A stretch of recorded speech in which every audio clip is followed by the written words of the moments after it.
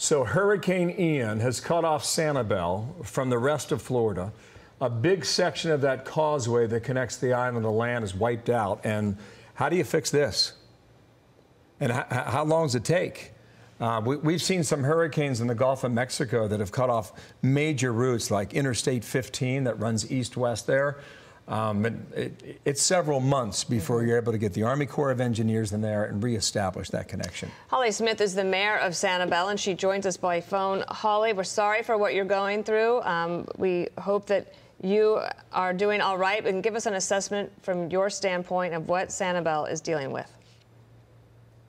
Well, we are we are dealing with an unprecedented situation on our island. Um, we did everything that we could to prepare um, everything we could to get the word out to please evacuate. Uh, this ended up being absolutely the perfect storm that we had hoped that we would never see in our lifetime. And right now, um, we are on day two of daylight. We have our teams going out. The most important thing that we can do right now is get out for search and rescue. So boots were on the ground early yesterday morning going throughout the island doing wellness checks to see if people were okay to stay as we went to find more critical needs uh, throughout the island. That's continuing.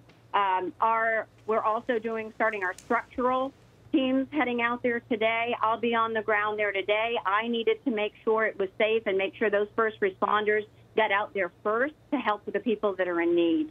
Um, as you were saying, uh, we're cut off uh, and, and it is going to be a long-term recovery. But uh, I, I can tell you that I was on the phone with Governor DeSantis. I think they were already thinking several steps ahead. We are going to have the full support, but this is going to be a long road. Yeah, Mayor. How, from the, how, how many people are how many people are on the island still?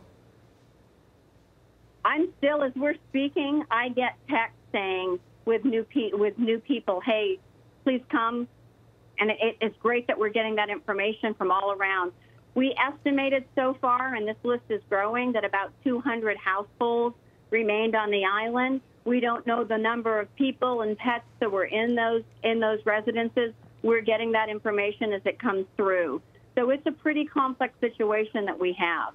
Well, they have a good leader in you, Mayor. Thank you for joining us today. We'll stay in touch. You can bet on that, okay? Thank you very much. Appreciate right. it.